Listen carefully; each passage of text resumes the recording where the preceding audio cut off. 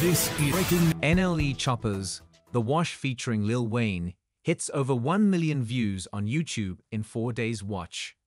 NLE Choppa ventured into directing by releasing his version of The Wash, inspired by Dr. Dre and Snoop Dogg's original comedy.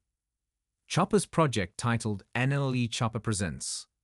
The Wash featured Lil Wayne and several social media influencers. According to TMZ, the unscripted film premiered on YouTube, with Choppa co-directing with Ben Marc. The cast also includes raunchy rapper Sukihana and others who improvised their roles.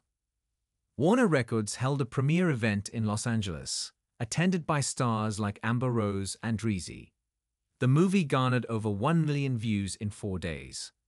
You can watch NLE Choppa Presents The Wash in its entirety above.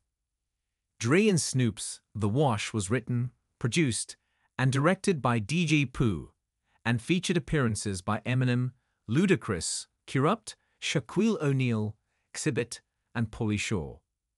The film follows two mismatched roommates, Dogg and Dr. Joe, working at a car wash who must work together to save their boss when he is kidnapped.